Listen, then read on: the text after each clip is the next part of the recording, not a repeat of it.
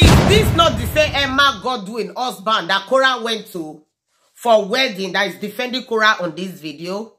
That Dr. Justin brought out a chat saying that Korra went to a, a wedding when she was pregnant of baby Ati. Korra went to Nigeria for our friend's wedding, five months pregnant, and slept with this woman's fiance. So she was sleeping around while pregnant with my child, and I saw the text messages that they took from his phone. And here, and here they are. I removed names to protect the people that told me about this. Seems like you've improved your skills. Core, did you just insult me? Abibu, whatever. Um, it feels like you were reaching my womb. Okay. It felt like hopes I didn't tamper with Justin's unborn baby, Athena.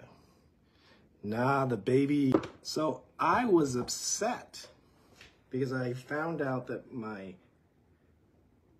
ex-wife had been sleeping around. It was there that Korago go knock a friend, a the bride to be husband. He go, he go, he go raka raka rang.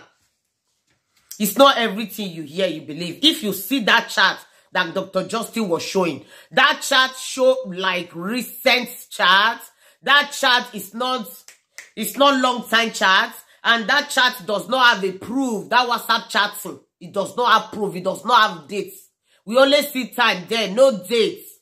And the name of the person was not there. Don't believe. Don't believe, guys. Let's listen to Emma Godwin husband. We will be back. Our wedding. Justin wants to talk about the the the way Korra teaches those kids. The our night of our wedding in London. I was taking my new bride back to the honeymoon suite. We were walking in the hotel back to our honeymoon suite. What did we hear? A cry on the a, a cry coming from a room. June was on the floor by herself while Justin was out drinking. Please, I, honestly, if it goes to court, I don't testify for Korra as a character witness. I said I saw you as a man. You abandoned your child. We picked her up from the floor whilst you were out drinking at our wedding. The bride and the groom spotted your daughter on the floor. I'm happy to say that. I'm happy to testify against that in court because it's enough. You heard that before. No, I didn't tell. I didn't tell Korra. We didn't even mention it to Cora. We just left it and said, okay, do you know what? She's fine. Nothing happened. You're going online crying for what? Welcome back, guys. So don't believe everything you hear or see on the media. That chat, I know many people don't like Cora. It's not everything about Cora that I like. Her dressing, I don't like her dressing. The way she dressed sometimes, me, I don't like it. But who am I? Who am I to, because of uh, the book, uh, uh, because of the cover of a book and judge the book? Please, guys, let's be calming down. Dr. Justin, please.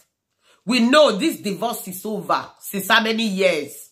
I know sometimes commenters, they, they hurt you. Please try to understand social media. Or you quit social media if you cannot handle it. Quit. Quit, bro. We have seen many of the white people who have divorced their wife. They are not on the media looking for social media basbos, basbos, basbos. To the extent of even bringing your mother to come and defend you. Hey, bro. Please be calming down. Calm down. You are a doctor. You are a doctor for crying out loud. Shalom. God bless you guys. Please share. Thank you.